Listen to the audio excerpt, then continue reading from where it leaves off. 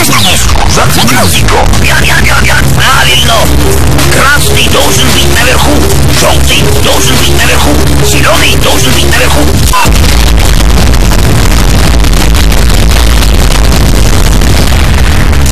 Какая разница, где красный, зеленый, а где зеленый, красный? Должно же быть зеленое а э, объяснение.